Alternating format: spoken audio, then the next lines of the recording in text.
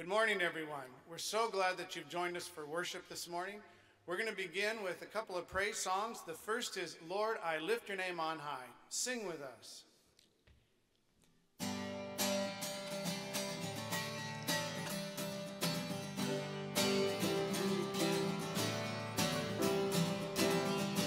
Lord, I lift your name on high.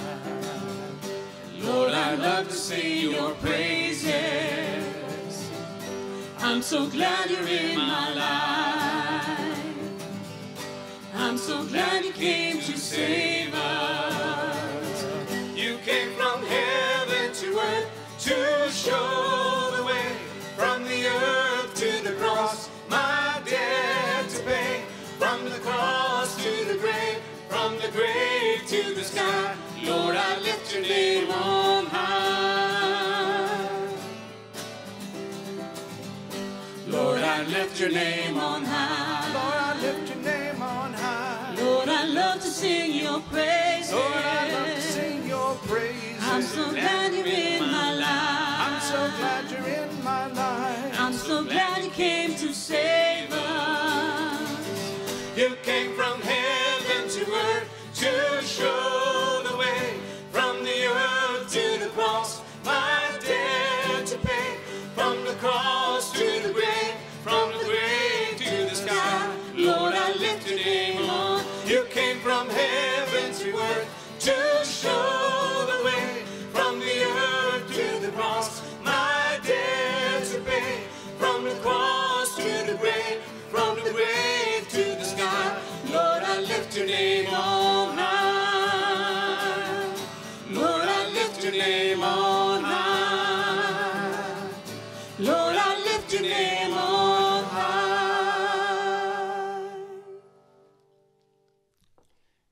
Invite you at home to join along in singing Let the Walls Fall Down.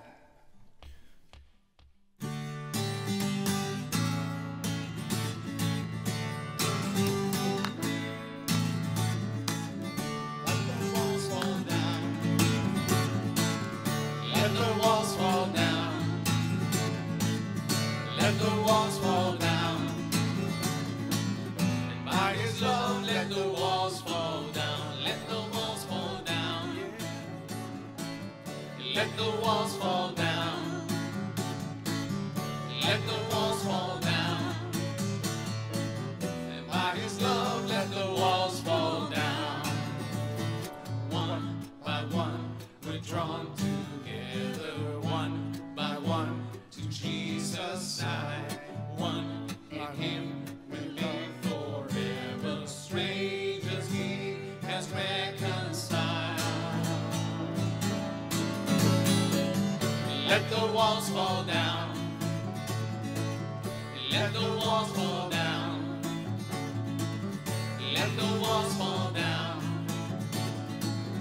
By his love, let the walls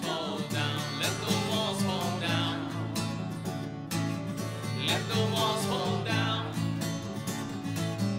Let the walls fall down. And by his love, let the walls fall down.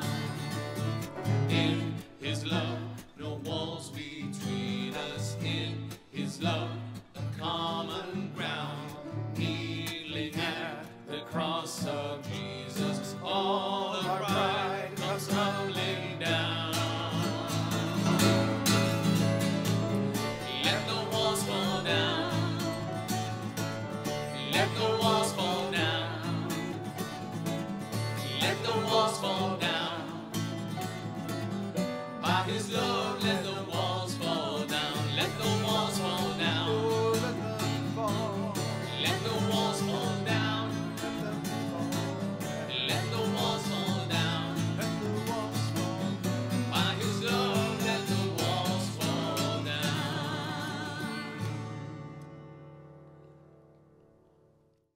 Good morning, beloved community.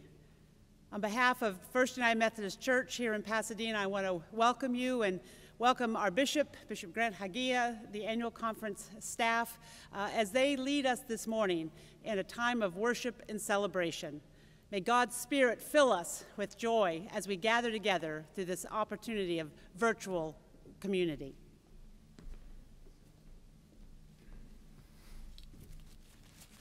Good morning, friends.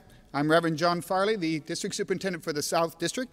I want to thank Reverend Sandy Olewine and Reverend Greg Norton for allowing us to host, for hosting us and allowing us to be here. On behalf of your bishop and your cabinet, we want to share in this time of worship. And you will notice that we're taking strict precautions. We are all masked, we are distanced, we will be using our hand gel, we will be wiping down after each person that comes up and trying to model for us all the work that we need to be doing to keep safe during this time.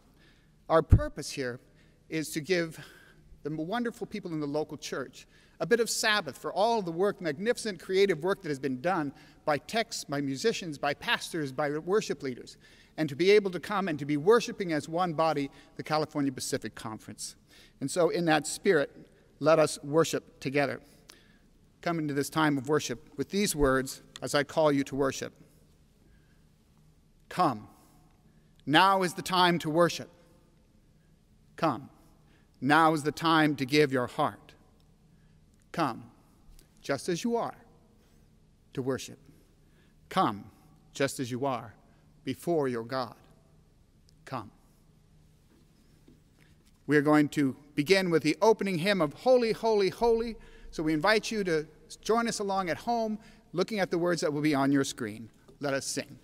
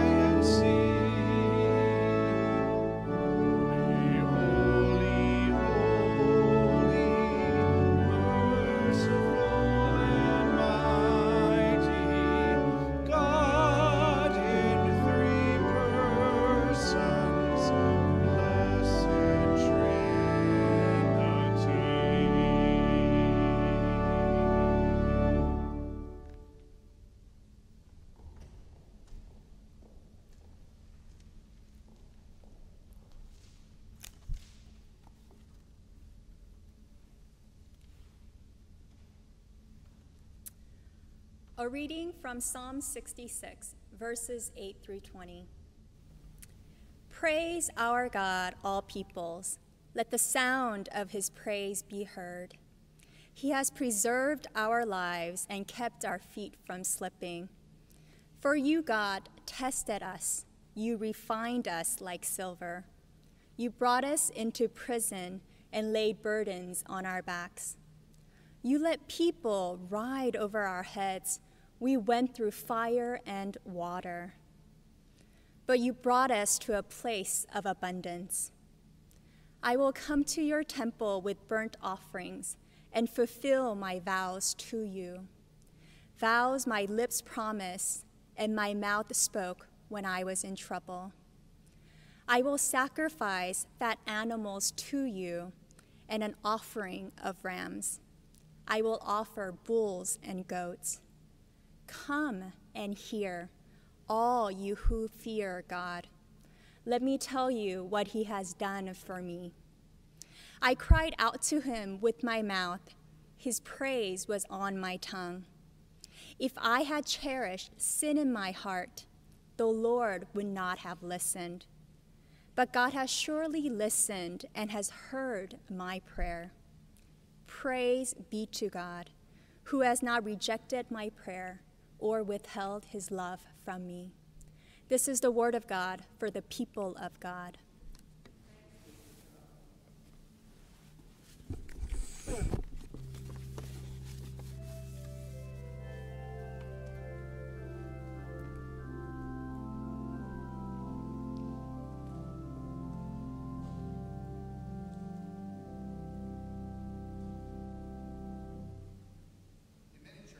Time. We have a time with the children, and I always did that in my local church.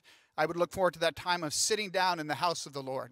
But now you're sitting down in your house. So I want to just talk quickly to the kids. So get the kids in because I want to talk about God's house, your house, and God's love.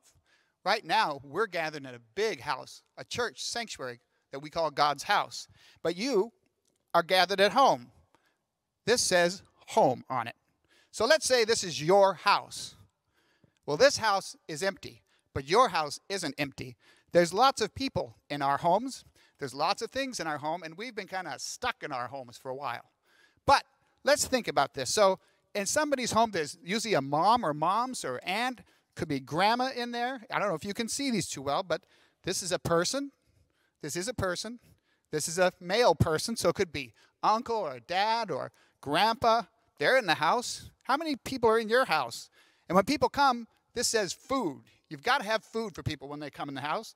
You've got to be shopping for food, and we run out of some things. Now, there are happy boys, little happy faces there. And I've got lots of kids in this house. There's a happy girl in this house. Oh boy, more kids. Another boy in this house. This house is filling up quickly. What else have we got? Clothes. I hope you all have fresh, clean. Wait a minute, my house getting stuffy. There we go. So this house has got. Oh, how many of you have a puppy in your house? This is a puppy. And believe it or not, that's a cat. I'm not going to show it to you very long. But we have more boys and girls in this house. This house is getting stuffed. Toys, you've got to have toys in your house. That house is really full. Oh, I hope you have love in your house. Well, now the house is full, isn't it? Do you think we could get, I can't push anything more into that but I have something that still needs to be in your house. This is a big picture of God's love. Do you think all of that could get in there? How could that happen? I hope it works. God wants to pour God's love into our homes and into our lives, even when they're full of worry about pandemic, even when they're full of worry about family members who are sick, or grandparents we can't go see. God just keeps pouring into this busy, crowded place. Whoops, if you don't pour too fast, it should work that God fills all the spaces with God's love. In fact, there's more than enough room in there for all of God's love. And when you open your heart, God's love gets inside. Let's pray. Dear God, thank you for loving us. Help your love get inside our hearts that we might love others. Amen. Acts chapter 17, 22 to 31. Paul then stood up in the meeting of the Areopagus and said, People of Athens, I see that in every way you are very religious. For as I walk around and look carefully at your objects of worship.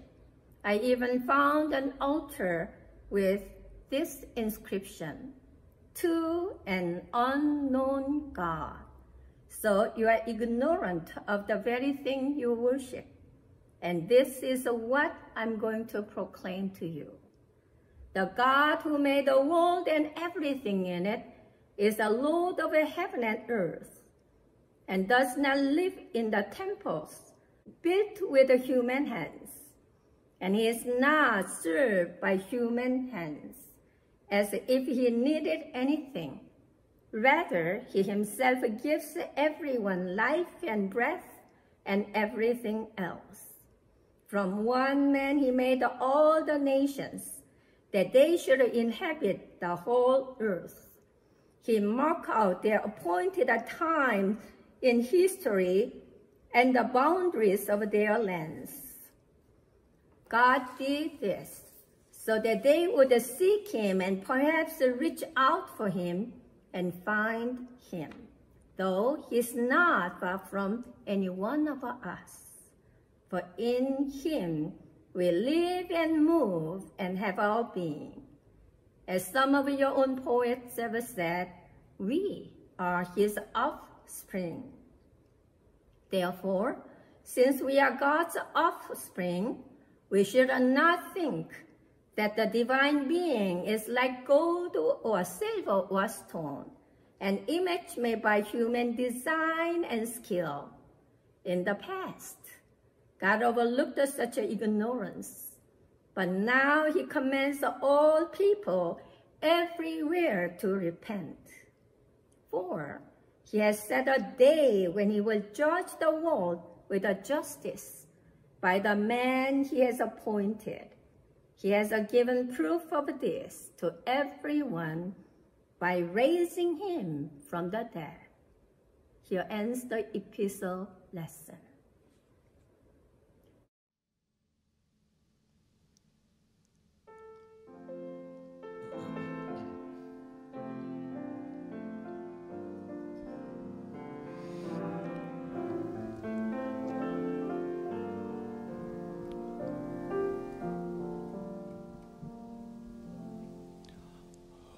Amazing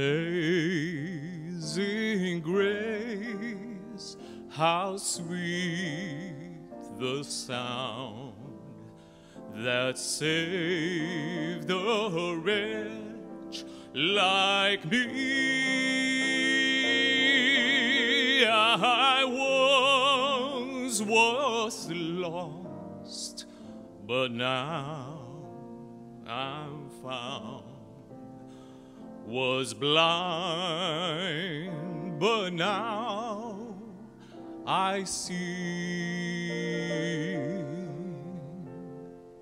Twas grace that had taught my heart to fear, and grace my fears relieved. How precious did that grace appear the hour I first believed.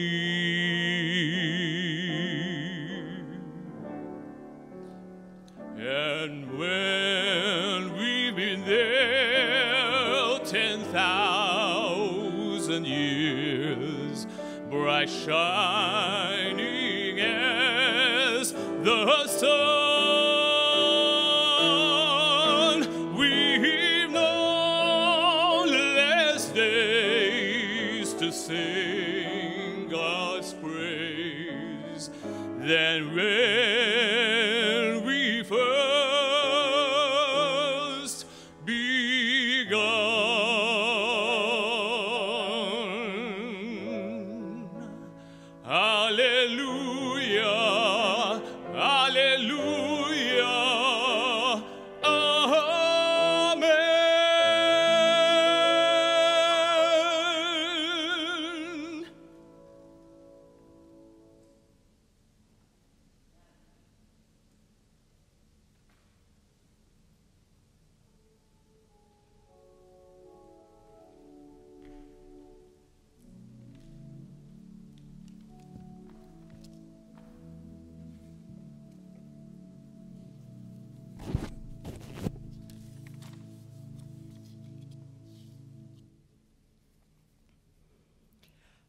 reading from John 14, verses 15 to 21. If you love me and obey the command I give you, I will ask the one who sent me to give you another advocate, a helper, to be with you always, the Spirit of truth, whom the world cannot accept, since the world neither sees her nor recognizes her. But you can recognize the Spirit because she remains with you and will be within you. I won't leave you orphaned. I will come back to you. A little while now, and the world will see me no more. But you'll see me because I live, and you will live as well. On that day, you'll know that I am in God and you are in me, and I am in you. Those who obey the commandments are the ones who love me, and those who love me will be loved by Abba God. I too will love them and will reveal myself to them.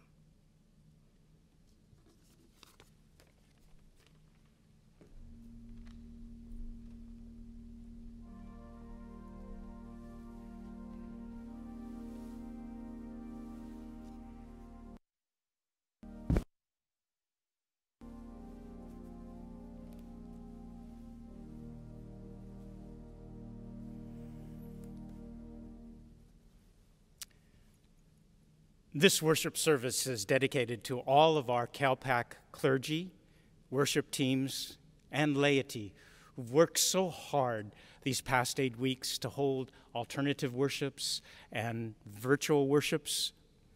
We, as your appointed cabinet, are so grateful to all of you for holding the church together at this critical time. And we hope that you're not actually tuning in today because you deserve a Sabbath a time of rest so you can be rejuvenated for next week. We want to honor you and thank you for all you have done to keep the church alive during this period. Thank you, thank you, thank you. No one could have predicted the arrival of the coronavirus and its devastating effects. I think the most insidious thing about this virus, it has robbed our Christian community of that which we do best the physical care of those who are dying and the making of meaning of their lives through our rituals of funerals and memorials. COVID 19 has robbed people of the care of their pastor and the church community and not allowed the surviving family to grieve properly in our faith tradition. I grieve with all of you who have lost loved ones. I pray for the recovery of those who are still battling the virus. And I feel so helpless in providing any semblance of care. But in loving tribute to those we've lost and to the surviving families, let me share the words that have comforted generations of the faithful. The Lord is my shepherd, I shall not want. The Lord makes me lie down in green pastures. The Lord leads me beside still waters. The Lord restores my soul.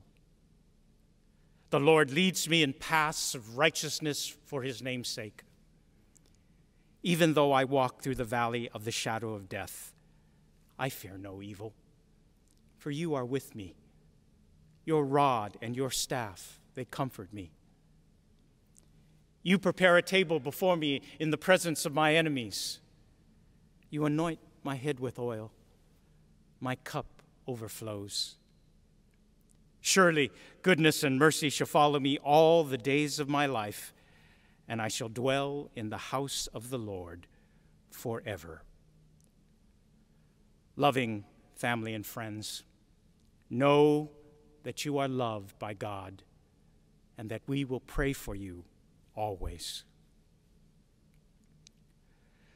This has been unprecedented times for us. It is time for us to try to figure out what is best for us in the future, make sense of what this COVID 19 has meant for us theologically. Andy Crouch has provided some deep thought on this and wonders if this pandemic will be a blizzard, which is a short, passing but devastating storm, a winter, an ongoing season of deep crisis, or the beginning of a little ice age, a monumental epic that changes the very fabric of our whole civilization. I personally believe it's going to be a little bit of all three of these, especially in relationship to our church. We're going through the blizzard right now, and all of us are adapting by staying at home, trying to, to, to locate ourselves in any kind of meaning at home, but safe at home. Those who wish to open up the country too soon are counting on this being a reality. But with the outbreak still spiking, it's a false hope that it's going to go away anytime soon.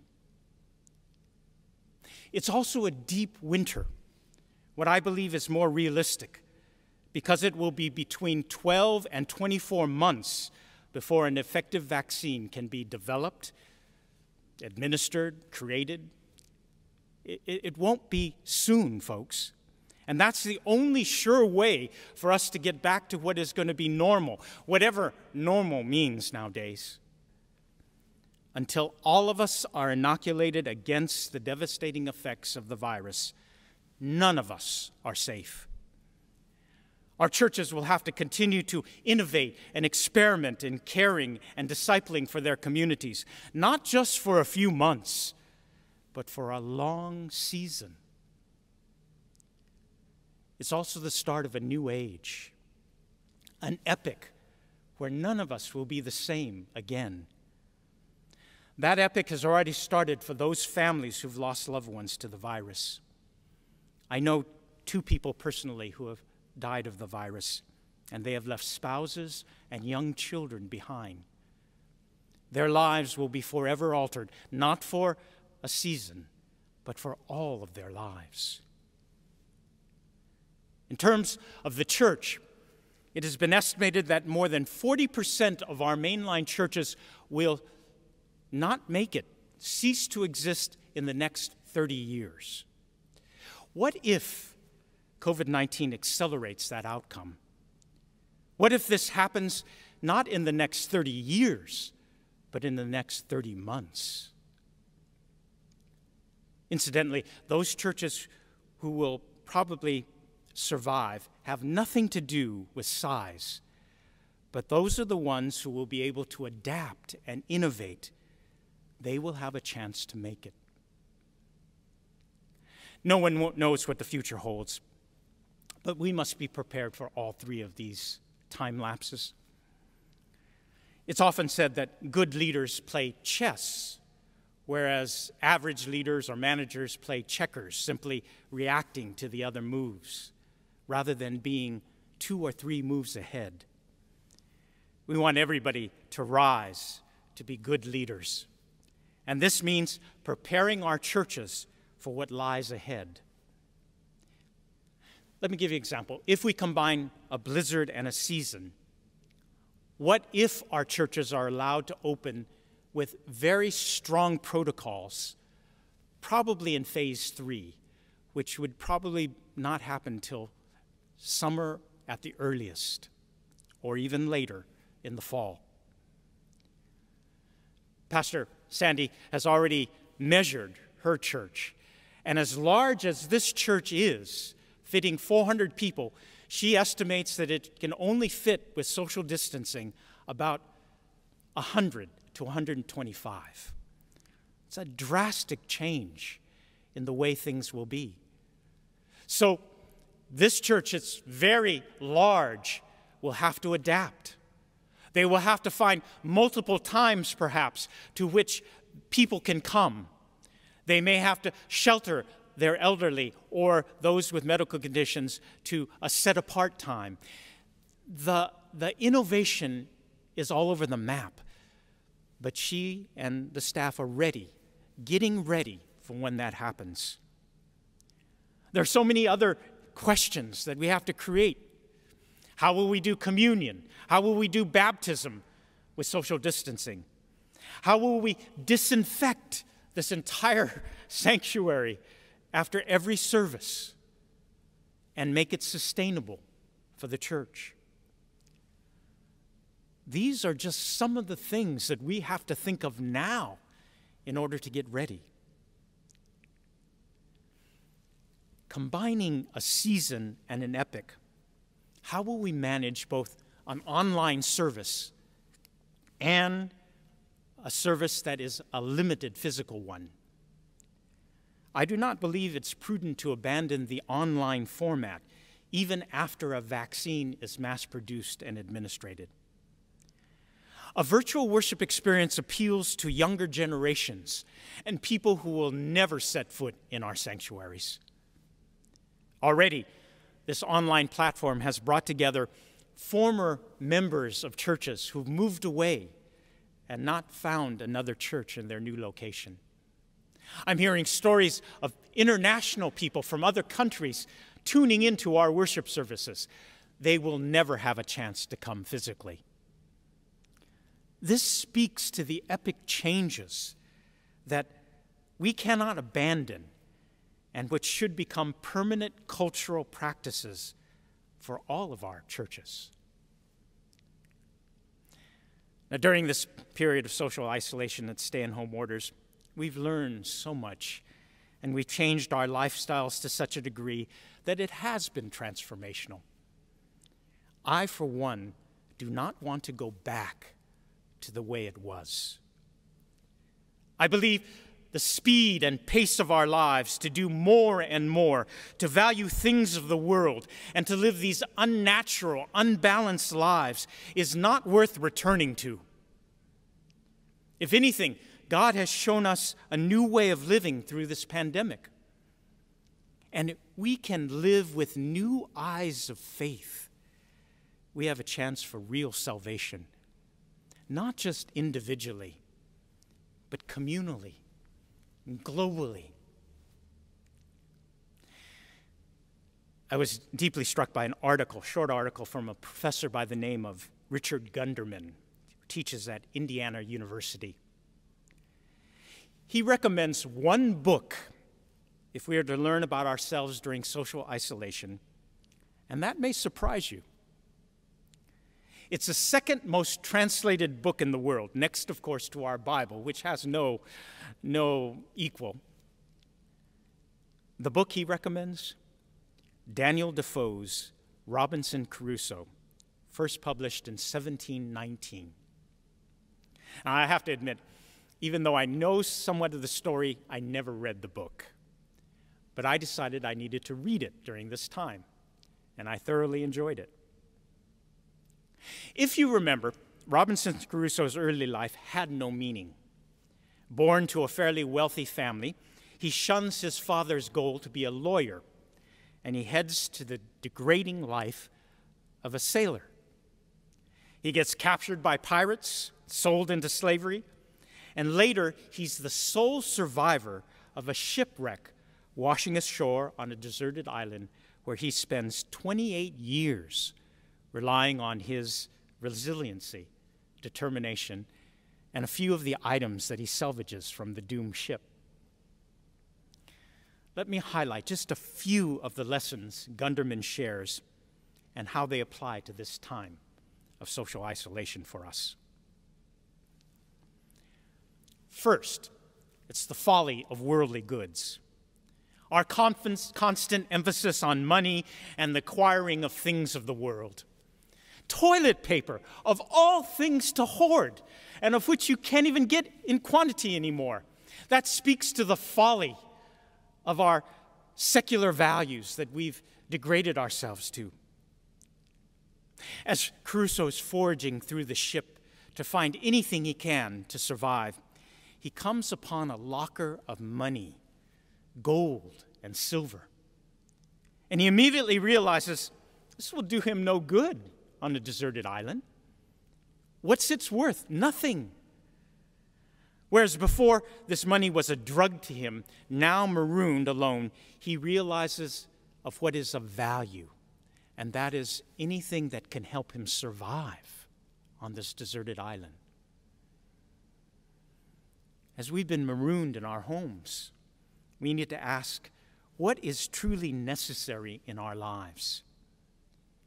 What is more important, an abundance of money or simply food to eat?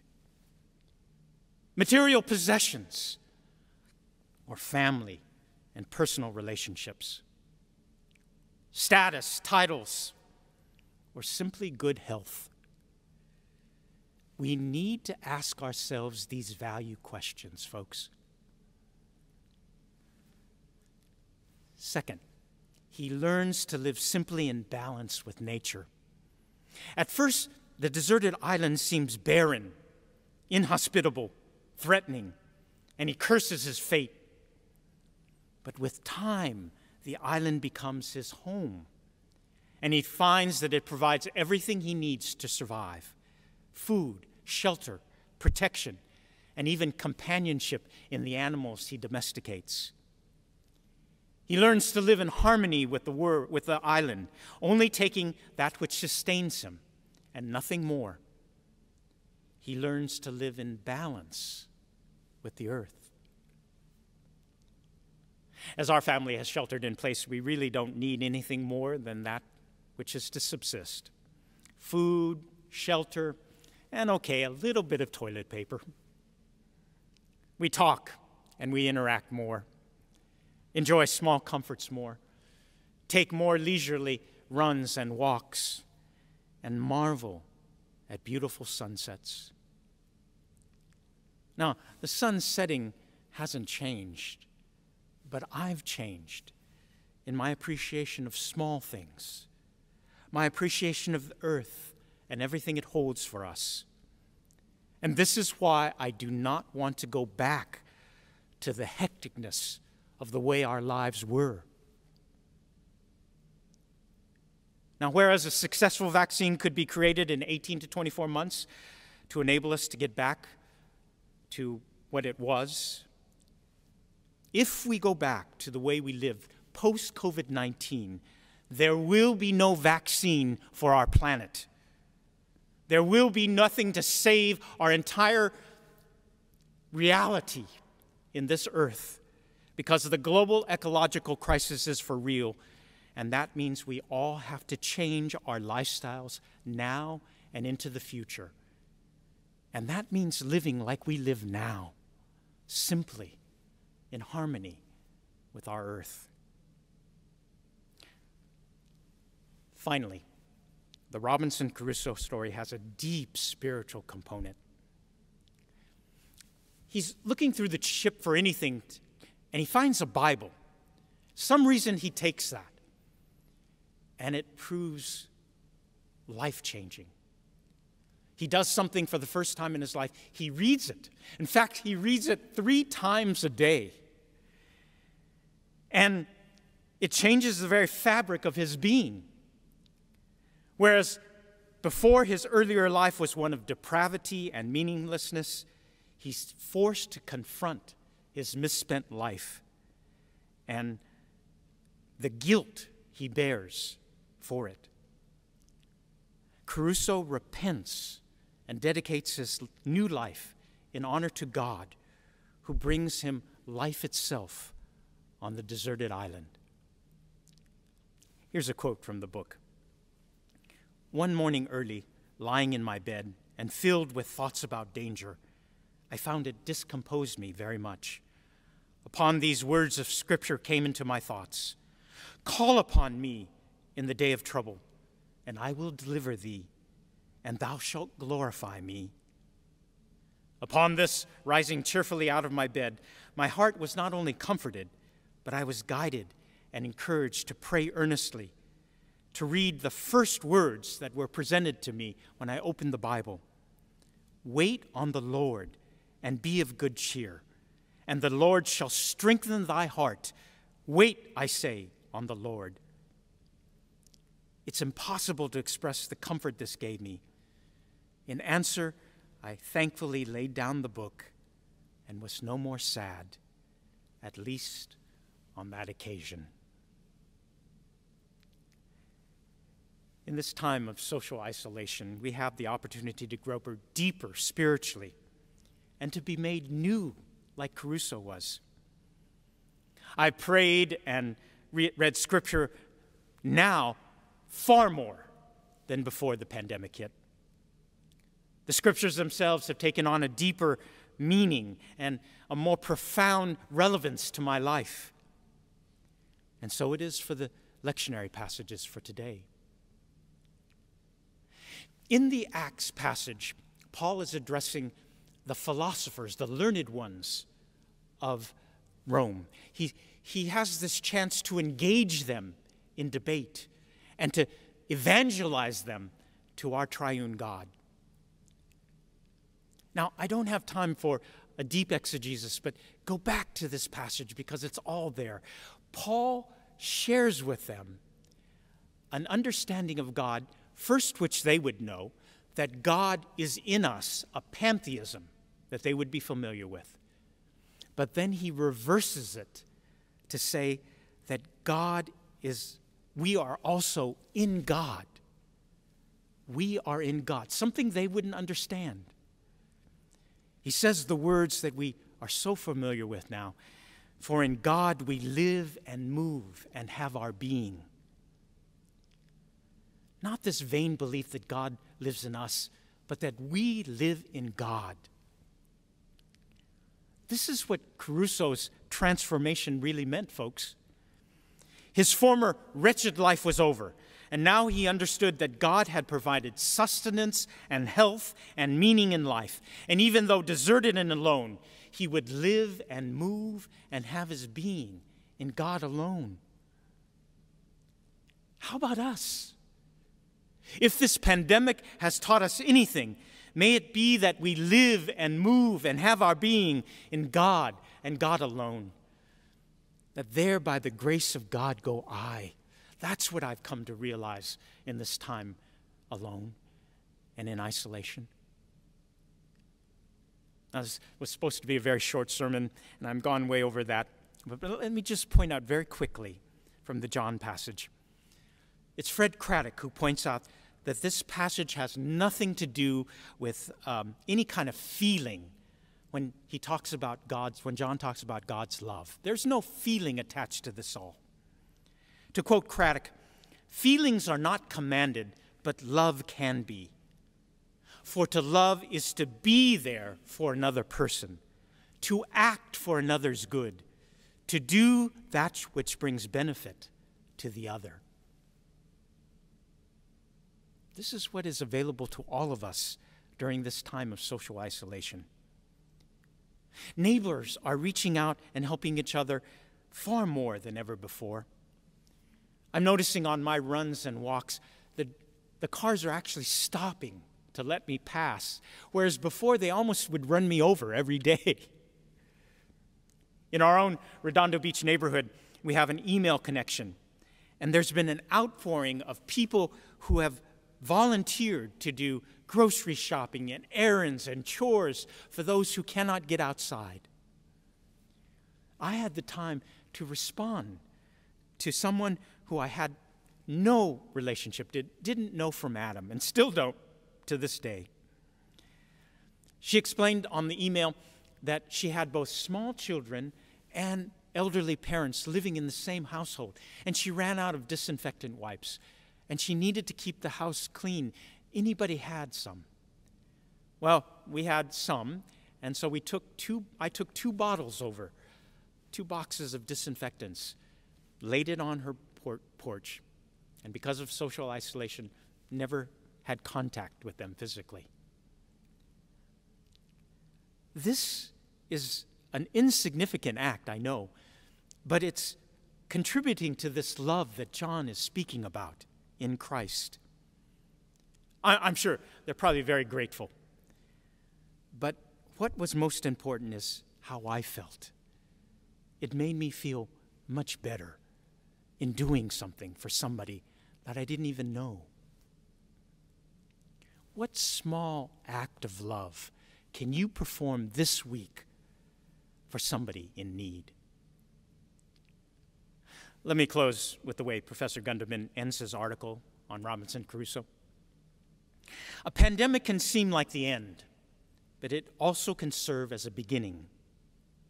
We are, in a way, cut adrift, yet a new and ultimately more fertile landfall lies ahead, at least for those of us who are not sick or broke or homeless. If we heed Defoe's inspiration, these unprecedented challenges can transform us into wiser and more caring human beings.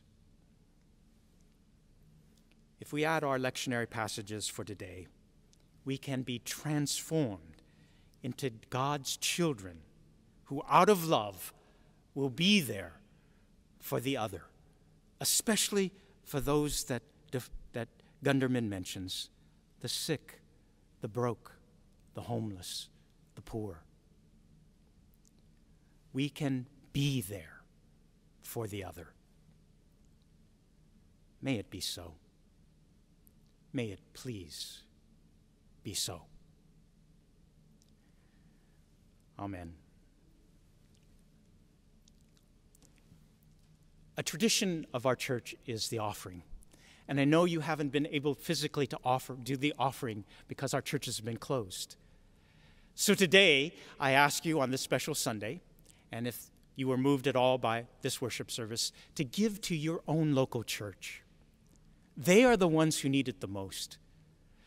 We hope that there's an online platform for you, but we hope that you will give generously because your own church needs this so much at this time. And we thank you for your dedication and your generosity.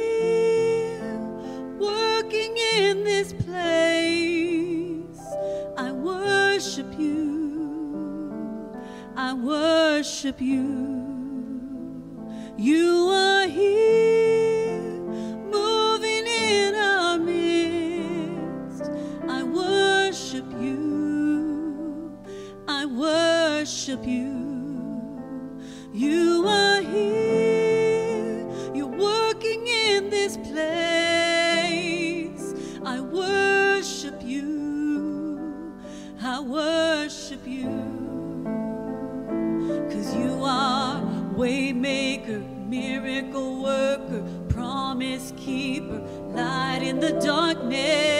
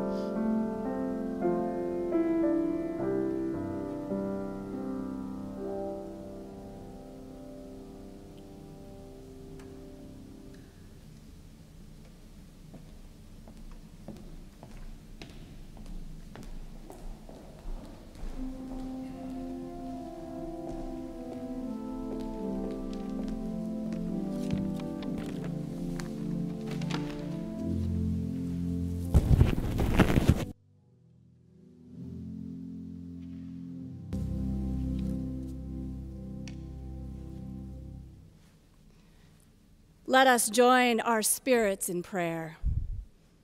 Great God of heaven and earth, we reach out to you with our whole being in these uncertain times. We lift up the many who have fallen ill with COVID 19 and those who have lost their lives. May your spirit of comfort and healing be upon all who are affected. We lift up to you those who are on the front lines, those who risk their own lives to take care of us all. And we lift up their families who sacrifice much so that we might have health. May you protect them, guide them, and be with them in their efforts to serve. And today we lift up our clergy and laity for their relentless pursuit of you and trying to share the love of God in an ever changing reality. Sustain our clergy and laity as they develop new ways, creative ways, to bring worship to our congregations and to the world. Grant them wisdom and insight in how to find ways, safe ways, to engage in acts of mercy and kindness, in safe ways to feed the hungry, to comfort the lonely, and to take care of the needs of our most vulnerable. For while our world has changed, those needs remain. We lift up all of our preschools and our preschool directors and our preschool families who are struggling and trying to figure out how to support our youngest disciples. In these uncertain times, when many of our foundations of life have been shaken, We give thanks to you, Lord, our rock, our redeemer, our miracle maker, for being a foundation that is never shaken. That your unfailing love and commitment to us is always present.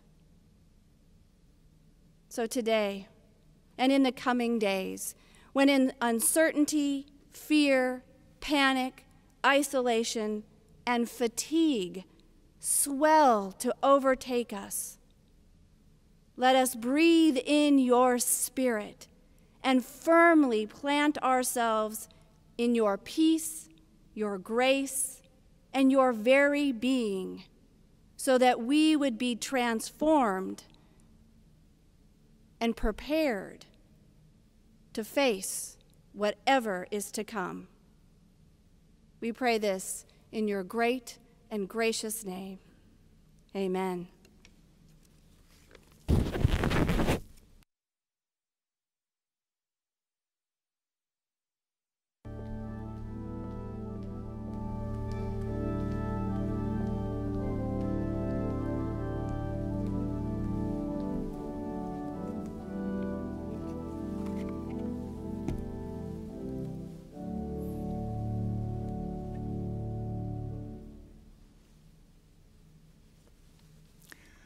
We come to that time in our worship where we extend and respond to the call of Christian discipleship.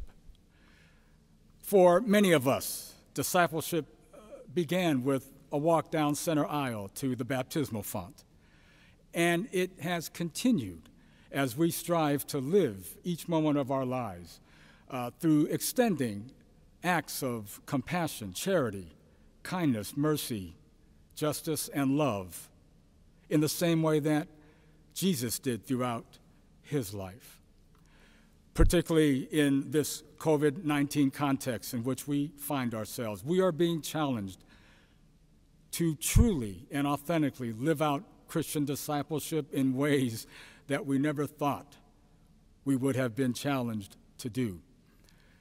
And so I invite you right now or sometime after this worship and later on in the week to live out your call to walk in the life and footsteps of Jesus. Uh, our bishop has just outlined several ways in which he has extended his Christian discipleship in his personal context. In the same way, we invite you this week to extend acts of mercy, love, kindness, and charity to those around you, whether you know them personally or not. Clergy on the West District have heard me uh, process our current crisis through the Asian understanding of the word danger, which is described as crisis and opportunity. When I think about it, the Christian story can also be defined as crisis and opportunity. The crisis was death and crucifixion. The opportunity was resurrection and new life. And so, I invite you this week to extend your Christian discipleship, respecting social distancing, in ways that are both familiar and new to you through your discipleship, those around you and beyond will know that in the midst of the death and suffering we see around us, new life and the love of God through Jesus Christ continues to live and be the reality for all of us. Amen. I invite you now to join in our closing hymn, Be Thou My Vision.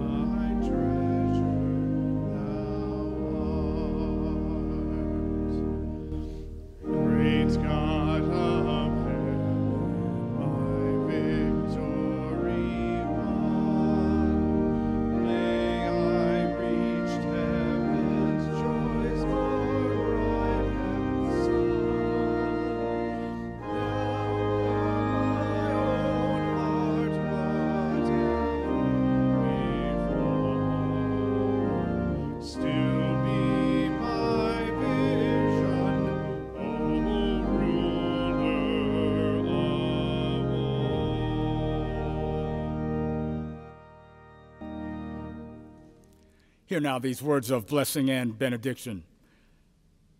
As we go forth through this Easter season, let us truly be an Easter people, that in the midst, in the midst of the pain and suffering around us, that we live, preach, and do the words and the life of Jesus to those whom we will meet. Let this be our blessing. Amen. Bye.